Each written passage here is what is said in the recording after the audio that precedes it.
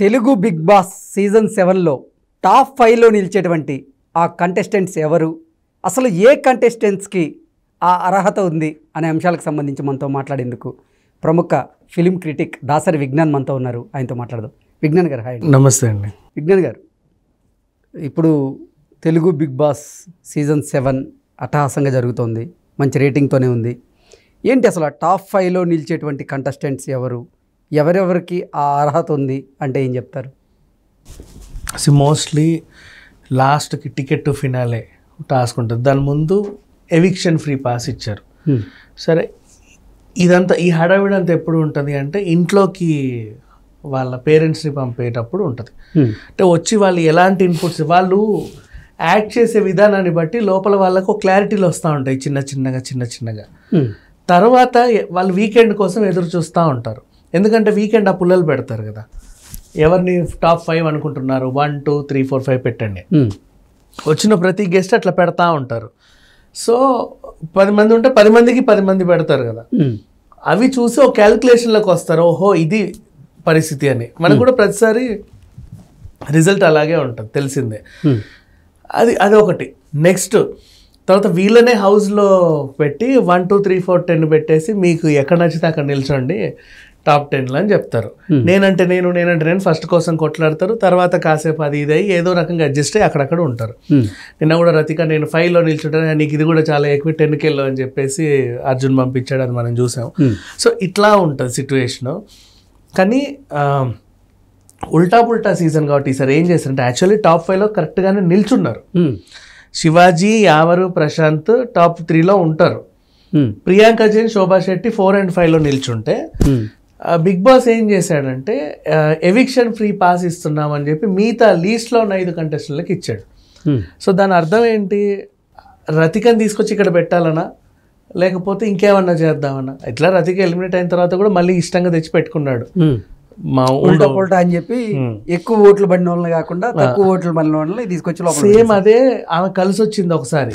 ఈ మళ్ళీ కలిసి వస్తుందేమో అని చెప్పేసి ఇట్లాంటి ప్లాన్ చేస్తే అది కాస్త అర్జున్ పట్టుకెళ్ళిపోయాడు. ఒక రకంగా చూసుకుంటే యాక్చువల్లీ ఏంటంటే ఇక్కడ నుంచి శోభాని తీసేసి ఆ ప్లేస్లో రతికని పెట్టాలన్నట్టు బిగ్ బాస్ వాళ్ళ ప్లాన్ అర్థమైపోతుంది. అశ్విని అయినా పెట్టలేరు. ఆ పిల్లకి అంత ఛాన్సే లేదు. రతికని పెట్టొచ్చు. కాకపోతే ఏంటంటే ఈ అమ్మాయి దానికి ఆమె కూడా సరిగ్గా ఆడాలి కదా.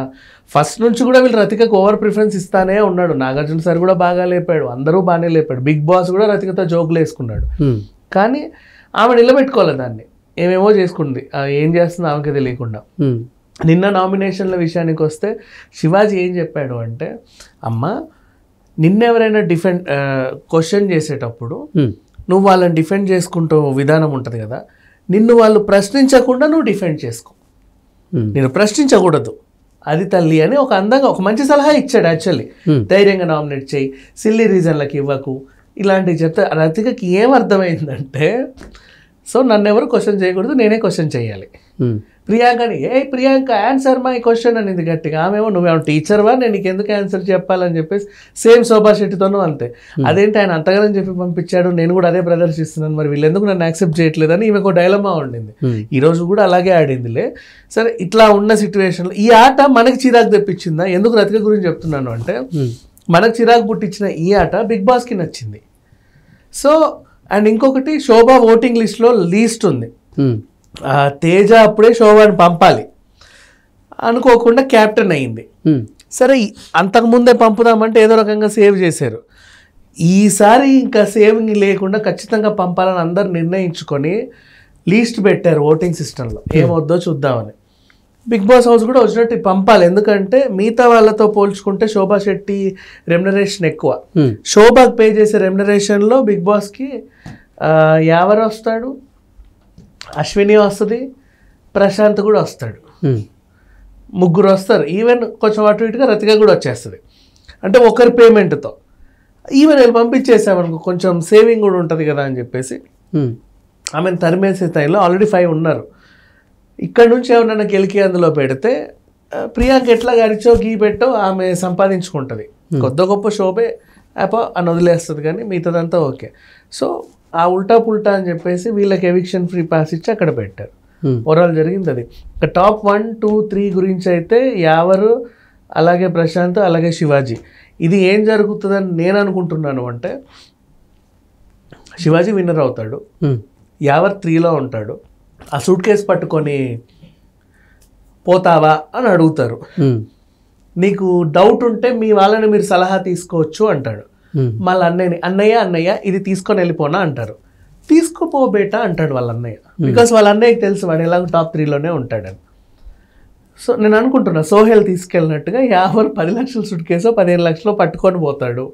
Number one next number two విషయానికి వస్తే శివాజీ విన్నర్ అవుతాడు పల్లె ప్రశాంత్ రన్నర్ అవుతాడు. కానీ ఇక్కడ ట్విస్ట్ ఏంటంటే శివాజీ ఏమంటాడంటే ఆ టైంలో నేను ఎప్పటి నుంచో ఒక రైతు బిడ్డని ఈ స్టేజ్లో చూడాలని నేను కలలు కంటున్నానండి. నాకు వీడు విన్ అయితే చూడాలని ఉంది. నేను అందుకే ఇక్కడికి వచ్చాను. దీన్ని నేను వీడికి డెడికేట్ చేస్తున్నాను అని చెప్పేసి తీసి వాడికి ఇచ్చేస్తాడు. అది. అప్పుడు అన్నయ్య అన్నయ్య అని చెప్పి కాళ్ళ వేళ్ళ మీద పడి పల్లె ప్రశాంత్ ఏడుపులు పెడబొబ్బలు ఉంటాయి. మోస్ట్లీ నేను అదే అనుకుంటున్నా. ఫైనల్లో జరిగేది ఇదే. ఇది జరిగిన తర్వాత శివాజీ క్రేజ్ ఎక్కడ ఉంటుంది? అంటే చరిత్రలో first time Bigg Boss cup త్యాగం చేసినటువంటి ఒక ఇదిగా మిగిలిపోతాడు. ఓ మంచి పేరు ఉంటుంది. నెక్స్ట్ రాజకీయాల్లోకి వచ్చిన అబ్బాయి చాలా అద్భుతమైన వ్యక్తి. ఇట్లాంటి అంటే వార్తల్లో బాగానే పాజిటివ్గా ఉంటాడు. అండ్ ఆయనకు కూడా ఆ కప్ మీద ఆశ ఏం లేదు. యాక్చువల్ ఎప్పటి నుంచో వీడికి ఇచ్చే వాడికి ఇచ్చే ఉత్తరం వచ్చినా వాడికి ఇచ్చే ఇది వచ్చినా వాడికి ఇచ్చే అంటూనే ఉన్నాడు. ఉమ్, ఈ రకంగా ఈ సీజన్ ఉండబోతుందని అయితే నేను ఊహిస్తున్నా but I don't know top one two three లో జరిగే మ్యాజిక్ అయితే ఇదే. అంటే టాప్ ఫైవ్లో అయితే? టాప్ ఫైవ్ ఆబ్వియస్లీ ప్రియాంక ఉంటుంది. ఉమ్, ఆ ఫైవ్ అనేది నాకు బాగా క్రిటికల్గా ఉంది. అట్లా. అంత మించి ఇంకెలా అమర్దీప్ ఛాన్సే లేదు. అంటే బలవంతంగా అర్జున్కి ఛాన్స్ ఉండదు?